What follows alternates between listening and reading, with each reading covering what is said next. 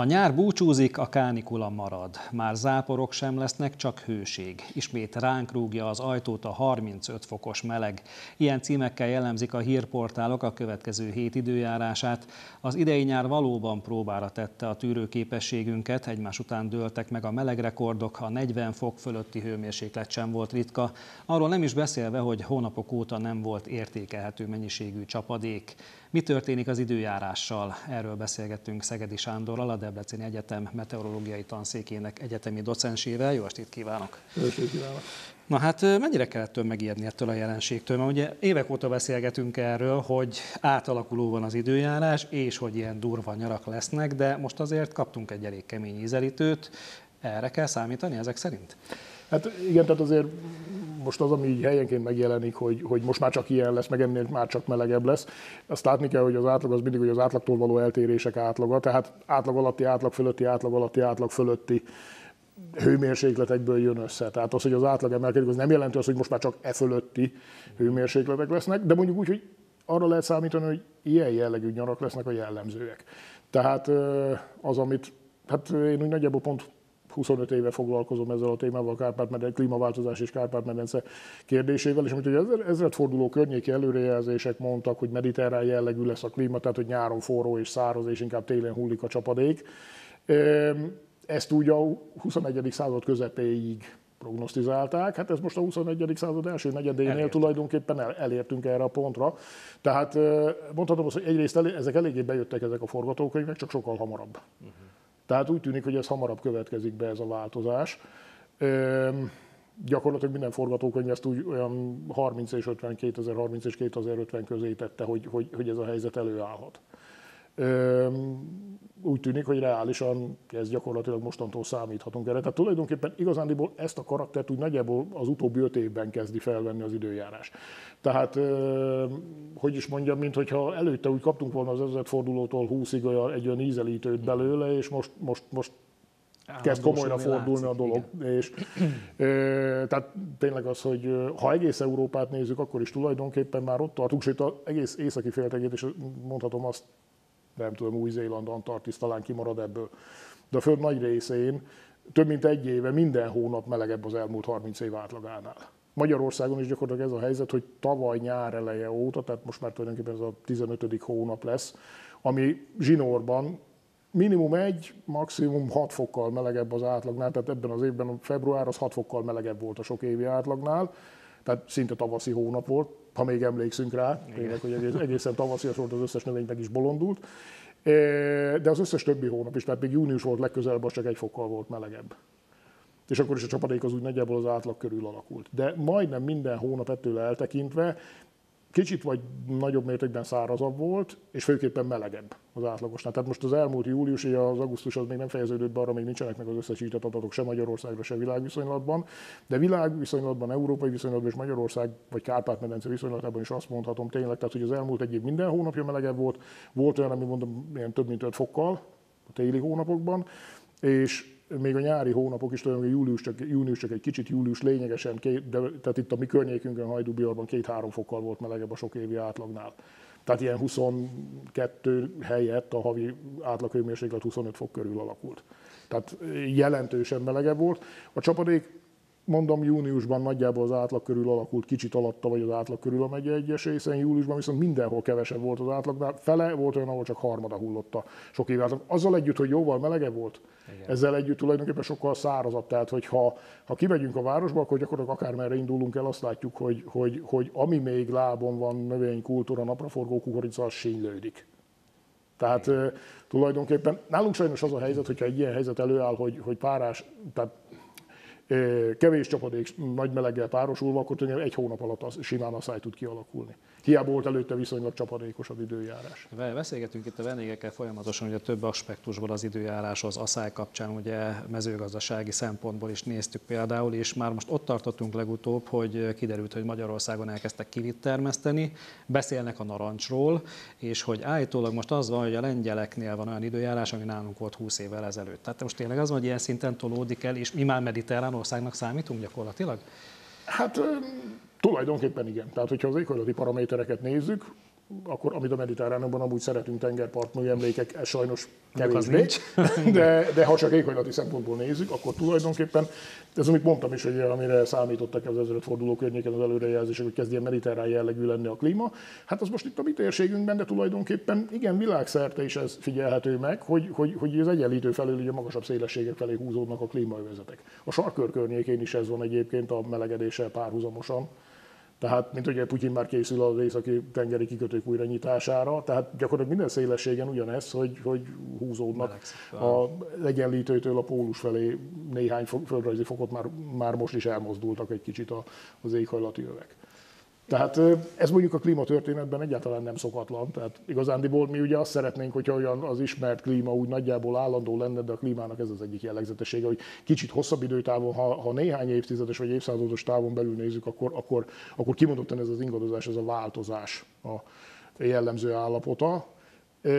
Csak most ugye nincs még elég hosszú rálátásunk hogy lássuk, hogy ez, ez most tényleg csak egy ingadozásnak egy része, egy felfelé tartó hullám, és aztán majd elindul a, a hullámvasút lefelé.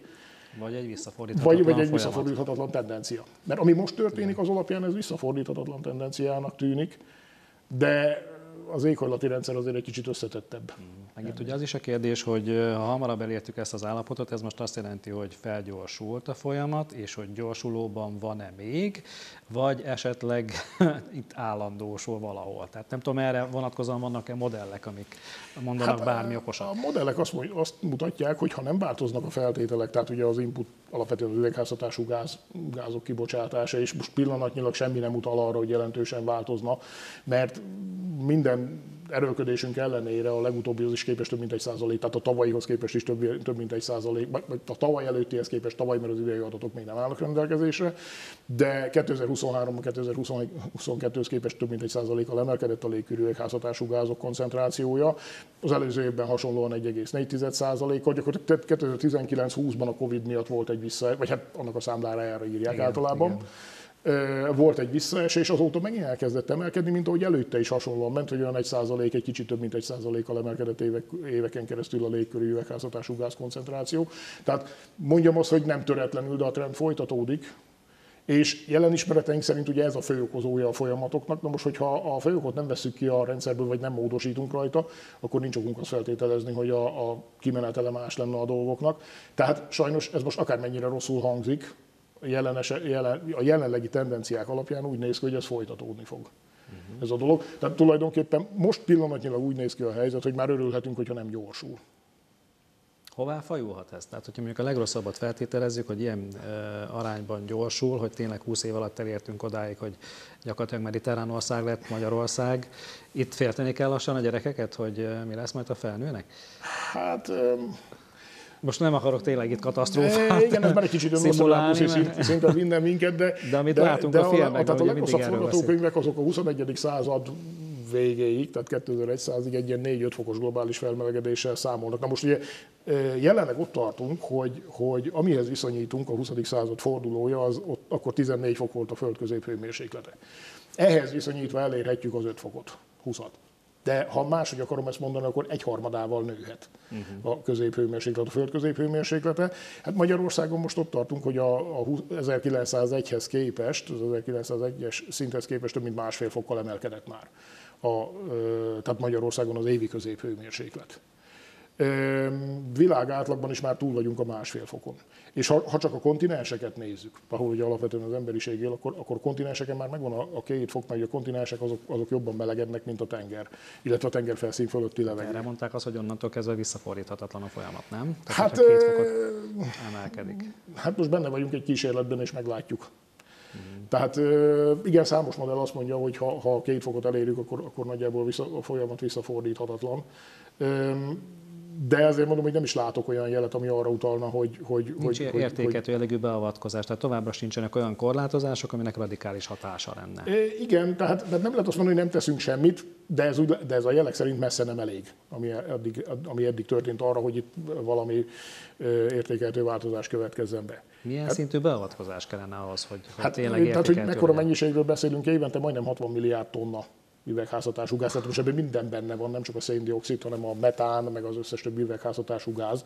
De 60, kb. 58,3 milliárd tonna széndiokszid egyenértéknek megfelelő üvegházhatású gáz kerül a légkörbe. Tehát amikor még, még amikor azt mondjuk, hogy egy millió tonnával kevesebbet bocsátottunk, ez olyan jelentősnek tűnik, mert egy millió tonna, hát mennyiségre egy fél Keops piramis körülbelül. De valójában ez, ez tulajdonképpen ehhez képest ezrelékekben sem, félezrelékben sem kifejezhető mennyiség. Tehát nagyon drasztikusan kellene csökkenteni az üvegházhatású gázok kibocsátását, nem beszélve arról, hogy ami már a légkörben van, az is nem olyan, hogy egyszer a légkörbe került, jó, most, most egy kicsit melegített, aztán, aztán abba hagyja, hanem az is folyamatosan működik, növeli a légkör visszatartó képességét, és ez ami másik, ami mindig megy a problémázás, és ez a sok furcsa jelenség, ez, ez is ettől van. Igen, ez is ettől van, mert ugye a termodinamika első főtétel, hogyha egy rendszerbe több energia kerül be, több hő kerül be, akkor az növeli a rendszer hőmérsékletét, a belső energiát, meg a munkavégző képességét.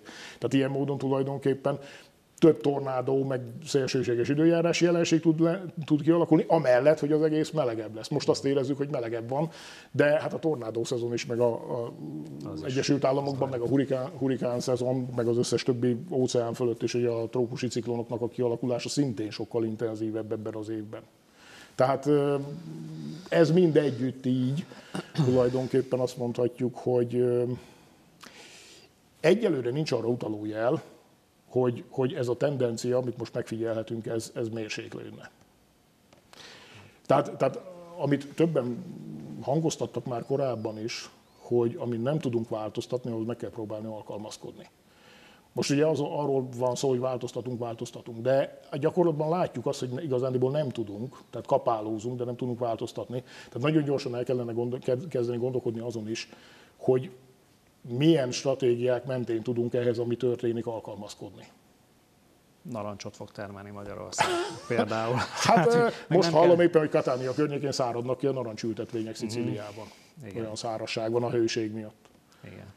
Na hát sok jó hírre nem tudtunk szolgálni, most sem, de hát ha legalább innen valahogy eljut a, az, Igen, bízunk benne, hogy legközelebb jobban tudunk jelzés. ennél mondani. Igen, nagyon szépen köszönöm, hogy itt volt velünk. Nagyon szívesen. Kedves nézőink, eddig tartott ma az esti közelkép. Köszönjük a figyelmüket, viszontlátásra!